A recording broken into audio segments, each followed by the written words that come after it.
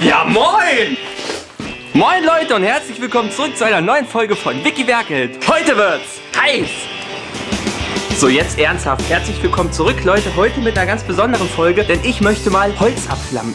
So, bevor es losgeht, vielleicht kurz noch ein paar Grundlagen zum Abflammen. Was ist überhaupt Abflammen? Das Abflammen ist eine der ältesten Holzversiegelungstechniken der bekannten Menschheitsgeschichte. Dabei brennt man im Prinzip die oberste Schicht von so einem Brett, einem Kantholz oder einem Balken an, bis die so dunkel wird wie hier, eigentlich sogar noch dunkler. Und damit wird das Holz dann wasserabweisend und schädlingsresistent. Ich will das heute an zwei Sachen probieren. Einmal an einem ganz normalen Brett, damit das für euch nachvollziehbar ist und an meinem selbstgeschnitzten Wanderstock. Wenn euch das interessiert, Link ist in der Beschreibung. Ich würde sagen, ich bereite alles vor, dann treffen wir uns draußen und dann brennen wir dem Spatz mal die Federn ab.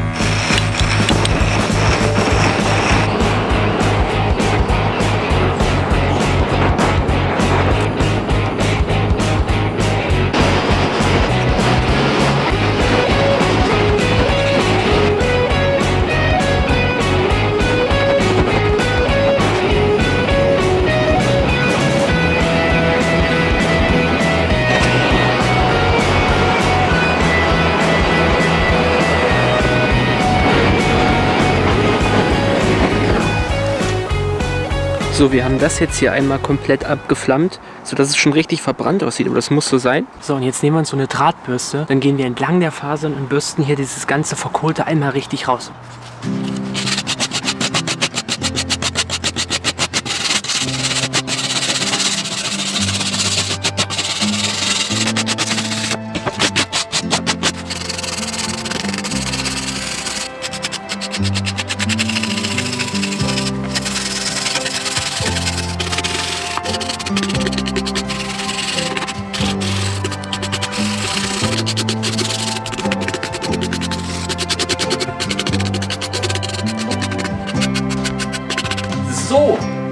Abgeflammt und abgebürstet ist es. Ich zeige euch die zwei Sachen mal ganz kurz im Detail und dann machen wir mal weiter mit der Veredelung. So, wir haben jetzt hier einmal unser Brett, was ich komplett geflammt und rausgebürstet habe. Das ist sehr, sehr glatt und wir haben eine relativ schöne Oberflächenstruktur. Also man kann das richtig gut fühlen, das Relief. Im Vergleich hierzu habe ich das probehalber mal so angeflammt, wie ich das bei ganz vielen Leuten sehe, die irgendwas anflammen. Also man kann das natürlich so anflammen, wie man möchte, aber ich muss ganz ehrlich sagen, ich finde, das hier sieht aus wie ein schlecht gewendeter Grillkäse und das hier sieht einfach aus wie ein professionelles Finish. Bei meinem Wanderstab bin ich eigentlich auch ganz zufrieden, auch wenn ich sagen muss, dass es manche Schnitzereien, die ein bisschen zu flach waren, nicht ganz so gut überlebt haben und leider auch der Schnabel ein bisschen gelitten hat. So, von der Oberflächenversiegelung her war es das eigentlich schon. Jetzt ist das Ganze nur noch ein bisschen rußig. Jetzt habe ich zwei Möglichkeiten. Also das wirklich einfachste ist, sich einen feuchten Lappen zu nehmen und dann hier schön drin rumzuwischen, bis man auch so den letzten Ruß rausgekriegt hat. Ich werde es aber tatsächlich so machen. Ich werde es jetzt einfach erstmal ölen. Dann muss ich sowieso mit dem Lappen drüber reiben, um das überstehende Öl abzukriegen. Und dann habe ich zwei Fliegen mit einer Klappe geschlagen. Mache ich jetzt kurz, danach erzähle ich euch nochmal was Wichtiges zu meinem komischen Gasbrenner, den ich verwendet habe.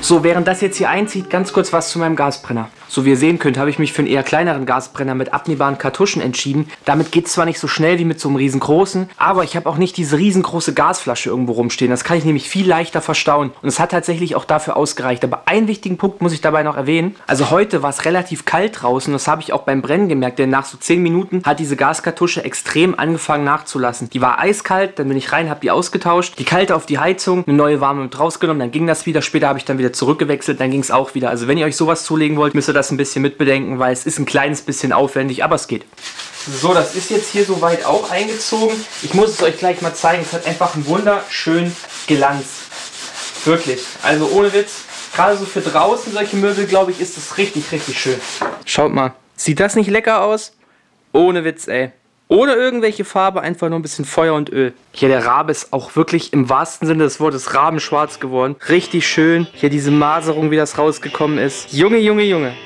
So Leute, ich muss sagen, ich bin wirklich mehr als zufrieden damit, bis auf den Schnabel. Natürliches Finish für diesen leicht rustikalen Stab gefällt mir richtig gut. Alles, was ich verwendet habe, findet ihr unten in der Videobeschreibung, falls ihr es nachmachen wollt. Ich hoffe, für euch war ein bisschen was dabei. Wir sehen uns nächste Woche. Macht's gut.